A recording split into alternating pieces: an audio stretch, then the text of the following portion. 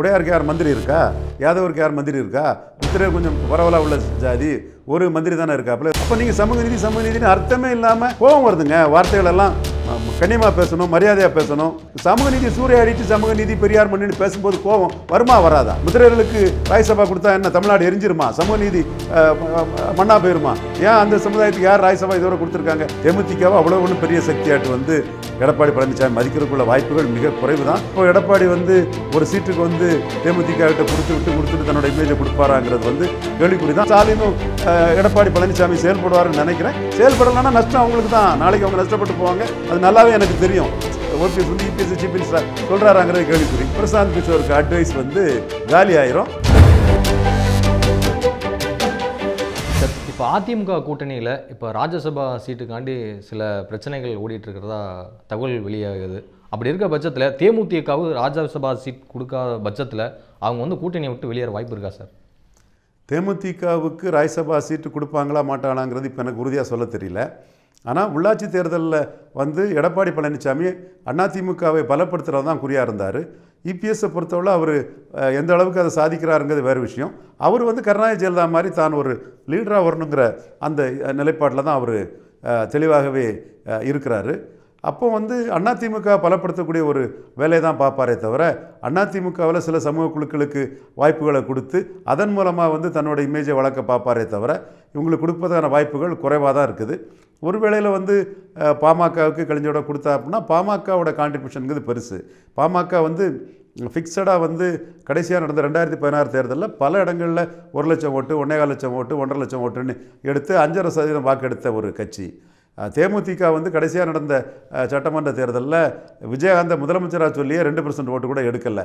அதுவும் வந்து பரவலாக இருக்கக்கூடிய ரெண்டு பர்சன்ட்னு சொல்லும்போது அந்த வேல்யூ அந்த சிறுக சிறுக அதோட வேல்யூ வந்து குறைஞ்சிக்கிட்டு தான் போகும். பாமக ஒன் தேர்ட் ஏரியாவில் அடர்த்தியாக இருக்கக்கூடிய அஞ்சரை பர்சன்ட்டுக்கும் போது அந்த ஒன் தேர்ட் ஏரியாவில் ஒரு பதினஞ்சு பர்சன்ட் ஓட்டு அப்படி இருந்துக்கிட்டே அவங்களுக்கு இருக்கும். அவருக்கு ஒரு வெயிட்டேஜ் இருந்து அந்த வெயிட்டேஜிக்கு பாமக கொடுத்தாங்க. பாமகவுக்கு வெயிட்டேஜை வந்து தேமுதிகவுக்கு நம்ம ஒப்பிட முடியாது. இன்றைக்குள்ள சூழ்நிலை. அன்னைக்கு பத்து பர்சன்ட் வர விஜயகாந்த் போயிட்டார்.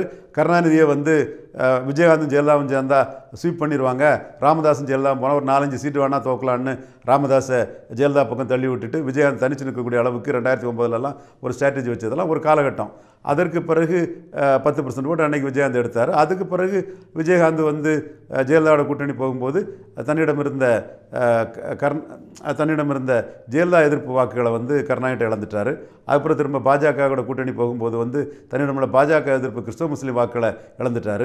அப்போவே பாமக கூட்டணி இருந்தனால தலித் வாக்குகளை இழந்துட்டார். அது பிறகு திருமாவளவன் கூட கூட்டணி போகும்போது வன்னியர் வாக்குகளை இழந்துட்டார். இப்படி வந்து ஒவ்வொரு கூட்டணியும் மாறி மாறி மாறி போய் வாக்குகளை இழந்து தேமுதிகவோட பலம் வந்து இன்னைக்கு ரெண்டு சதவீதத்துக்கு கீழேங்கிற ஒரு சூழ்நிலையில் தேமுதிகவை அவ்வளோ ஒன்றும் பெரிய சக்தியாட்டு வந்து எடப்பாடி பழனிசாமி மதிக்கிறதுக்குள்ள வாய்ப்புகள் மிக குறைவு தான் என்றாலும் ஒருவேளையில் நாங்கள் கூட்டணியில் கண்டிப்பாக சட்டமன்றத்திலும் கூட்டணி தேவை. கூட்டணியில் இருப்போன்னு ஏதாவது ஒரு அண்டர்டேக்கிங் எழுதி கொடுத்து நடைபெற்றாலும் பரல் நடைபெறலாம்.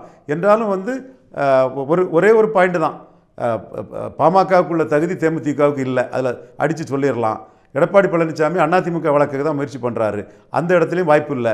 ஒரு வேளையில் நாங்கள் உறுதியாக வந்து சட்டமன்ற தேர்தலையும் உங்கள் கூட கூட்டணி வைப்போங்கிற மாதிரி ஏதாவது ஒரு அண்டர்டேக்கிங் கொடுத்து அதில் அந்த அடிப்படையில் வந்து எதாவது நடந்தால் உண்டு. அரசியலில் வந்து எல்லாமே இம்மிடியேட் தான். ஒரு ப்ராமிஸ் பண்ணிவிட்டு நாளைக்கு வந்து அதை நிறைவேற்றாமல் கூட போயிடுவாங்க அதனால தான் வந்து பாமக போன்ற கட்சிகள் கூட்டணிக்கு தேவைங்கிற அடிப்படை இருந்தாலும் கூட அதிமுகவில் அதிமுகவை ரெட்டலை அதிக இடங்களில் கொடுத்து பாமக மார்ஜினைஸ் பண்ணுறது தான் நல்லதுன்னு எடப்பாடி செய்தார். அப்படி ஷார்ப்பாக செய்யக்கூடியவர் வந்து தேமுதிக கொடுப்பாங்களாங்கிறதுல வந்து எனக்கு சந்தேகமாக தான் இருக்குது கட்சி முடிவு எடுக்கணும்னு சொன்னால் வேண்டாங்கிற முடிவை கட்சி எடுக்கிறதுக்கு தான் அவர் கொண்டு போகிறாரோங்கிற மாதிரி நான் கருதுகிறேன் பெரும்பாலும் கொடுப்பதற்கான வாய்ப்புகள் வந்து மிக குறைவு தான்.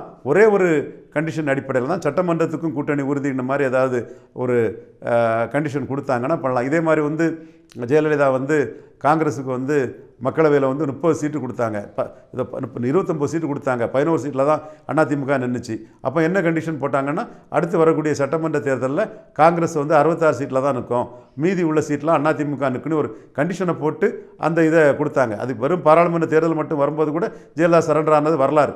அதே மாதிரி வந்து இப்போ எடப்பாடி வந்து ஒரு சீட்டுக்கு வந்து தேமுதிக கிட்ட கொடுத்து விட்டு கொடுத்துட்டு தன்னோட இமேஜை கொடுப்பாராங்கிறது வந்து கேள்விக்குறி தான். ஆனால் ஒரே ஒரு முன் உதாரணம் ஜெயலலிதா காங்கிரஸ் வந்து ஒரு பெரிய டிசைடிங் ஃபேக்டர் திமுக அண்ணா திமுகக்கு இடையிலங்கிறதுனால அதை கொடுத்தாப்புல. தேமுதிகவுக்கு இன்றைக்கி அப்படி ஒரு அந்தஸ்து இருக்கான்னு சொன்னால் மிக குறைவான அந்தஸ்து தான் இருக்குது. அதற்கான பலமும் இல்லை. ஒரு வேளையில் அந்த சட்டமன்ற அண்டர்டேக்கிங் கொடுத்து அதை எடப்பாடி நம்பி இப்படியெல்லாம் சோமன் இப்ஸ் அண்ட் பட்ஸ் இருக்குது. வாய்ப்புகள் வந்து குறைவுன்னு தான் நான் உறுதியாகவே சொல்லலாம். உடையார் முத்திரையர் யாதவர். இந்த சமூக இளைஞர்கள் சிலர் வந்து சமூக வலைதளங்கள் என்ன விமர்சிக்கிறாங்கன்னா ராஜ்யசபா உறுப்பினர் சீட்டில் வந்து எங்கள் சமுதாயத்துக்கு வந்து பார்த்திங்கன்னா சரியான பிரதிநிதித்துவம் இல்லை அப்படிங்கிற மாதிரி சொல்லி இல்லை பாசிட்டிவ் நான் பேசுகிறேன் ஏன் தானே? உடையாருக்கு யார் மந்திரி இருக்கா? யாதவருக்கு யார் மந்திரி இருக்கா? முத்திரையர் கொஞ்சம் பரவலாக உள்ள ஜாதி. ஒரு மந்திரி தானே இருக்காப்புல ஒரு லேடி இருக்கிறாங்கன்னு நினைக்கிறேன். அப்போ நீங்கள் மந்திரி மாவட்ட செயலாளர் ஒன்றிய செயலாளர் கட்சி இதெல்லாம் குறிப்பிட்ட பகுதி பெரும்பான்மை ஜாதிகளுக்கு மட்டும் கொடுத்துக்கிட்டு பெரியார் மண்ணு சமூக நீதினு பேசுனா முட்டா பசங்கடா நீங்கன்னு சொல்ல வேண்டியது தானே இருக்குது. சமூக நீதினா எல்லாத்துக்கும் சமூக நீதி கிடைக்கும்ல.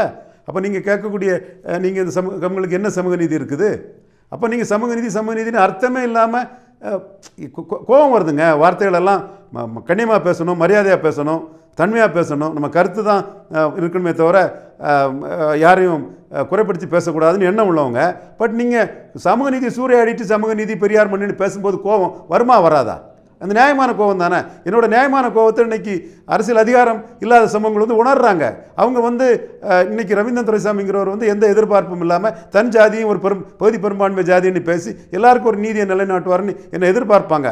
அந்த மக்களின் அன்பை பெற்றதுனால கொஞ்சம் கோபமான வார்த்தைகள் சொல்கிறேன்னு தவிர நியாயமாக வந்து பிரதித்துவம் இல்லாத ஜாதிகளுக்கு ராஜ்யசபா கொடுக்கணும். எப்படி கொடுக்காங்க திமுக அண்ணா திமுகங்கிறத நம்ம நம்ம பொறுத்திருந்து பார்ப்போம். அது யாதவ சமுதாயத்தை பற்றியெல்லாம் சொன்னேன். யாதவ சமுதாயத்துக்கு மதுரையில் இருந்த ஒரு எம்பி டிக்கெட்டை கூட நீங்கள் பிடிங்கிட்டுன்னு சொல்லும்போது அவங்களில் உங்களுக்கு பாப்புலரான யாரோ புதுமுகமோ பழைய முகமோ அல்லது சிட்டிங் எம்பி டிக்கெட்டை பிடுங்கினவரோ யாரோ ஒருத்தருக்கு நீங்கள் ராஜ்யசபா கொடுக்கணும். யாருங்கிறது உங்கள் முடிவு. அதுக்குள்ளே நம்ம தலையிட வேண்டிய அவசியம் இல்லை நமக்கு தலையிட வேண்டிய தேவையும் இல்லை.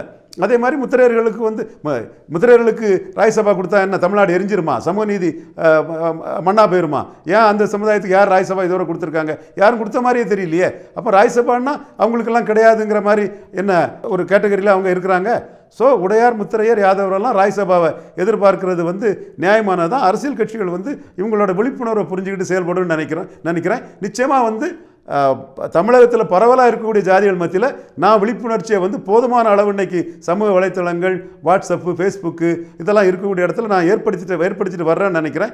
இன்னும் அது ஏற்படுத்தப்பட பட வேண்டும். அந்த அப்படி ஏற்படுத்தப்பட்டிருக்கு என்பதை உணர்ந்து கொண்டு ஸ்டாலினும் எடப்பாடி பழனிசாமி செயல்படுவார்னு நினைக்கிறேன். செயல்படலைன்னா நஷ்டம் அவங்களுக்கு தான். நாளைக்கு அவங்க நஷ்டப்பட்டு போவாங்க. அது நல்லாவே எனக்கு தெரியும். அது அது அது அவங்க முடிவு.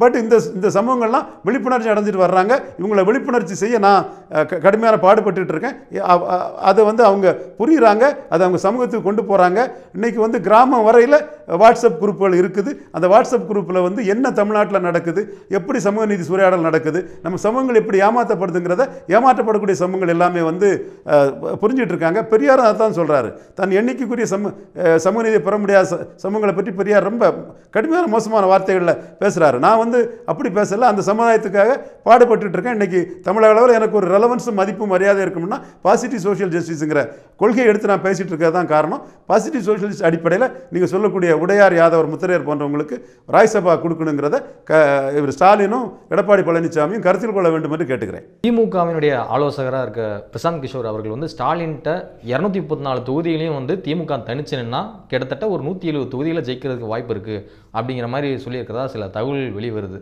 அப்படி இருக்கிற பட்சத்தில் இது வந்து கூட்டணியை கழட்டி விட்டால் திமுக தனியாக ஜெயிக்குமா சார்? இன்றைய சூழ்நிலையில் ரஜினிகாந்த் அரசியல் களத்துக்கு வராத பட்சத்தில் பிரசாந்த் கிஷோர் சொல்கிறது நூற்றுக்கு நூறு கறி கரெக்டு. பிரசாந்த் கிஷோர் கிஷோர் வந்து ஸ்டாலினுக்கு சரியான அட்வைஸ் தான் கொடுத்துருக்காரு. ப்ரொவைடிங் ரஜினி இந்த ஆப்சன்ஸ் ஆஃப் ரஜினிகாந்த். ரஜினிகாந்த் இல்லாத களத்தில் முப்பத்தெட்டு சீட்டு எம்பி சீட்டு ஜெயித்திருக்காப்புல. விடுதலை சிறுத்தைகளுக்கும் காங்கிரஸுக்கும் மதிமுகவுக்கும் சிபிஎம் சிபிஐக்கும் வேறு ஆப்ஷன் இல்லை. அவங்க எப்படி எடப்பாடி தலைமையில் போய் சேர முடியுமா?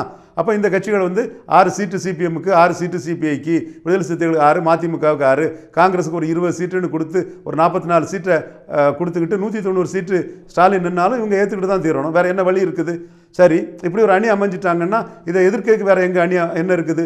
இபிஎஸ் ஓபிஎஸ்ல யார் சீஃப் மினிஸ்டருங்க இதில் ஓபிஎஸ் ஓபிஎஸ் வந்து இபிஎஸ் சீஃப் மினிஸ்டர் சொல்கிறாராங்கிறது கேள்விக்குறி. பதினெட்டு பர்சன்ட் ஓட்டில் தான் அதிமுக இருக்குது. நீங்கள் கேட்கலாம் விக்ரவாண்டியில் விக்கிரவாண்டியில் ஜெயித்துட்டாரு அஹ், நாங்குநேரில் ஜெயித்துட்டாரு எடப்பாடி அதை ப்ரொஜெக்ட் பண்ணுறாரு அவருக்கு உரிமை. அதெல்லாம் தப்புன்னு சொல்லல. ஜெயலலிதாவும் இப்படி தான் கும்மிடி பூண்டி காஞ்சிபுரத்தில் ஜெயித்தோன்னு சொன்னாங்க. என்ன ஆச்சு? பாராளுமன்ற தேர்தல் எடுத்த அதே முப்பத்தி ரெண்டு பர்சன்ட் ஓட்டு தானே? ரெண்டாயிரத்தி நாலு பாராளுமன்றத்தில் எடுத்த ஓட்டு தானே?